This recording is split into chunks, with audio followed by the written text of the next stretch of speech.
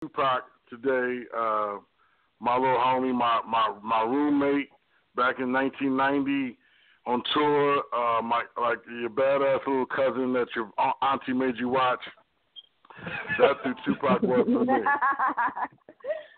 I know he's a hero to everyone, and he is. He's a hero to, of mine as well. But the way that I know him is is that of um, of being obligated to have to look out, watch out, and make sure everything was good. So I know Pac in a different way, but uh, nonetheless, I, I, I do dig how everybody really, how they were really affected by Pac and his words and his sincerity and who he is and who he was to hip hop and and pop culture.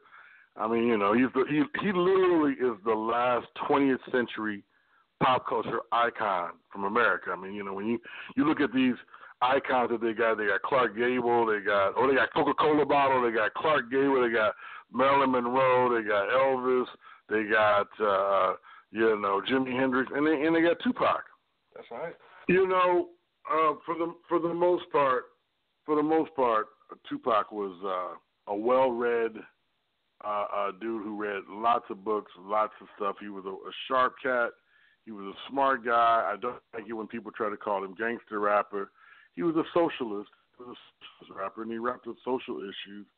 And um, you know, for the most part, he was definitely raised uh, to to become to become you know some some type of leader. And he inserted himself into pop culture via records and movies and things of that nature to uh, ensure himself to be that guy because uh, you know, and and and that particular time in the '90s like that, it wasn't about you know uh, throwing up a fist and uh, and that you had to insert yourself into pop culture into a way that was different, and he did it. He I mean he he did it, and you know, but you know, for the most part, he was a just a rambunctious, uh, mischievous uh, cat that was, you know, that was that was fun loving, but uh, definitely ready to get into some shit or or set it off, start something. So you know, he uh, he, he was a revolutionary. You know, he was a revolutionary. You know, and I, you know, and uh, for the most part, he just kind of came in a different way. He, you know, he's, he's Huey Newton on records and in movies. I mean, you try to put that together. He came. It was it was Pac's first show. Um, you know, he kept aiming the microphone into the monitors on stage, and it kept feeding back. And because of that, he thought that the sound man was sabotaging our show.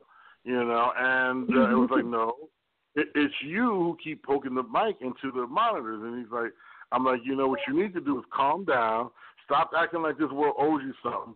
You know what I'm saying? Because uh, nobody owes you anything. And he's, let me tell you something, Jake every black man owes me.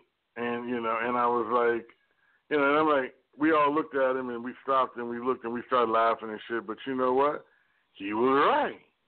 When all this shit, when all this, when all this was said and done, I didn't know why every black man was gonna owe him, but uh, uh, you know, I gather, uh, I gather we do uh, on some level. You know, on some level. Um, you know, uh, whether it's just the idea of teaching you how to speak up and speak up for yours, how to not accept no for an answer, how to look and try to find the truth through all of the bull crap that uh, people have us trying to sort through. Um, you know, he, he very much was a truth a truth sayer and a, you speak the truth as well. So he was your little brother that spoke up and made you speak up and gave you courage where you didn't have any before.